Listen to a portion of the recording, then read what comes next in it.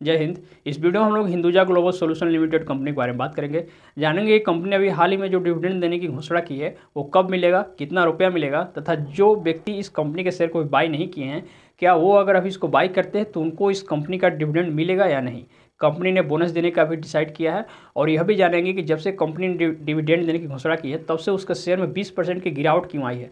आमतौर पर तो ऐसा नहीं होता है। जब भी कोई कंपनी डिविडेंड देने की घोषणा करती है तो उसके शेयर प्राइस में उछाल आता है और उसमें अपर सर्किट लग जाता है। लेकिन हिंदुजा ग्लोबल में उल्टा हो रहा है, इसमें लोअर सर्किट भी लग चुका है। तो एक एक चीज़ पर विस्तार से बात करेंगे। चलिए वीडियो शुरू करते हैं।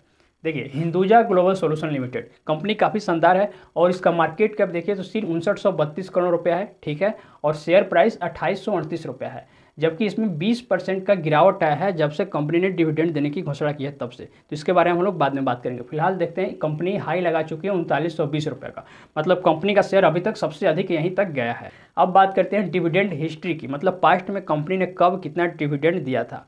तो कंपनी साल में चार पाँच बार डिविडेंड देती है मतलब दिल खुश कर देने वाली कंपनी है। साल में चार बार डिविडेंड देना, ये कम बात नहीं है। सिर्फ़ दो हज़ार इक्कीस में कंपनी ने चार बार डिविडेंड दिया है। सोचिए, पिछले साल जब कोरोना का लहर था और हर मार्केट डाउन जा रहा था, फिर भी कंपनी ने चार बार डिविडेंड दिया है।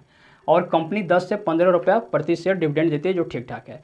कल के वीडियो में हम लोग बताया था इन्फोवेज इंडिया लिमिटेड कंपनी के बारे में। यह भी जो हाल ही में डिविडेंड देने की घोषणा की है, इसका मार्केट कैप है बहत्तर करोड़ रुपया। और इसका मार्केट कैप देखिए, उनसठ करोड़ रुपया। मतलब इससे बारह गुना बड़ी यह कंपनी है। और शेयर प्राइस भी देखें तो छप्पन रुपया है, जबकि इसका अट्ठाईस रुपया। शेयर प्राइस भी इससे इसका दुगुना है। और यह कंपनी डिविडेंड कितना देती है? सिर्फ़ आठ रुपया प्रति शेयर और दो साल से कंपनी साल में सिर्फ़ एक ही बार डिविडेंड दे रही है। जबकि यह कंपनी हिंदुजा ग्लोबल, जिसका मार्केट कैप इससे 12 गुना कम है 12 गुना छोटी कंपनी है, वो साल में चार बार डिविडेंड देती है और डिविडेंड भी इससे अधिक देती है। तो मेरे कहने का ये मतलब है कि छोटी कंपनी है, फिर भी उससे अधिक डिविडेंड और उससे ज़्यादा बार डिविडेंड पे करती है मतलब कंपनी काफ़ी शानदार है। अब हम लोग बात करते हैं कि कंपनी ने हाल ही में जो डिविडेंड देने की घोषणा की है, वो कब मिलेगा, कितना रुपया मिलेगा? देखिए कंपनी का बोर्ड मीटिंग हुआ छः जनवरी को, इसी साल। और बोर्ड मीटिंग में ये डिसाइड लिया गया कंपनी डेढ़ सौ रुपया डिविडेंड देगी प्रति शेयर पर। रिकॉर्ड डेट रखा गया अठारह जनवरी। मतलब अठारह जनवरी के पहले तक अगर आप कंपनी के रिकॉर्ड लिस्ट में आते हैं तो आपको डिविडेंड मिलेगा। तो अगर आप आज इस कंपनी के शेयर को बाई करते हैं तो 18 जनवरी के पहले तक आप कंपनी के रिकॉर्ड लिस्ट में आ जाएगा और आपको भी डिविडेंड मिलेगा, ज़रूर मिलेगा। अब समझिए, डेढ़ सौ रुपया डिविडेंड सुनने में तो काफ़ी अच्छा लग रहा है, लेकिन इसके जो शेयर होल्डर्स हैं, उनको निराशाजनक हाथ लगी अब हम लोग समझते हैं कि आखिर क्या कारण है कि कंपनी का शेयर प्राइस 20 परसेंट लुढ़क गया है जब से कंपनी ने डिविडेंड देने की घोषणा की है तब से।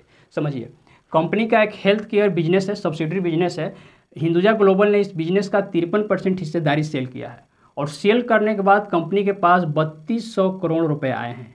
इस बत्तीस सौ करोड़ में से कंपनी सिर्फ़ तीन सौ करोड़ रुपए का ही डिविडेंड पे आउट कर रही है। जबकि शेयर होल्डर्स एक्सपेक्ट किए थे कि इतना रुपया कंपनी के पास आने के बाद कंपनी कम से कम पंद्रह सौ से दो हज़ार रुपया डिविडेंड देगी। लेकिन कंपनी सिर्फ़ डेढ़ सौ रुपया ही डिविडेंड दे रही है।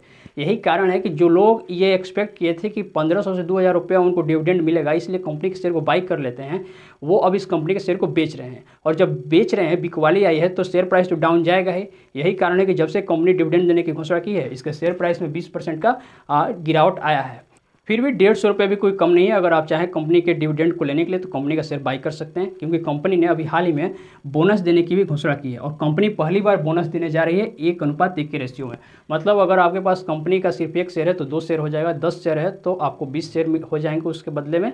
हालाँकि बोनस किस दिन मिलेगा, इसका डेट अभी तय नहीं हुआ है, लेकिन मिलेगा, जल्द मिलेगा। अगर होल्डिंग्स की पैटर्न करें तो इस कंपनी प्रोमोटर्स के पास सिक्सटी पब्लिक के पास ट्वेंटी हिस्सेदारी, और बाकी में डीआईएफआई के पास हिस्सेदारी आती है।